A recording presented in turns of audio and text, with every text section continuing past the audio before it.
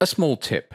If we experiment with further transitions, we can see that for certain transitions, for example with this 3D blinds transition,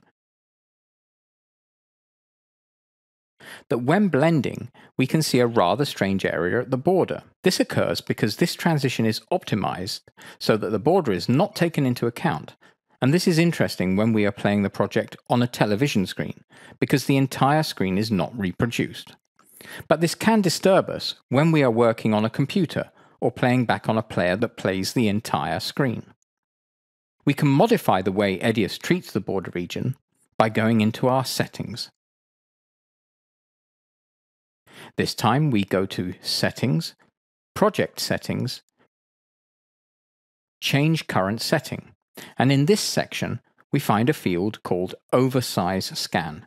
And if we set this to 0 by clicking, typing 0, enter, then this border region is not displayed and the complete screen will be correctly blended without a border remaining.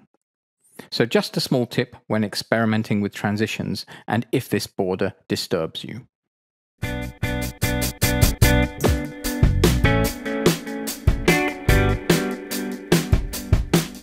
Click here for the next video. To subscribe to our YouTube channel, click here.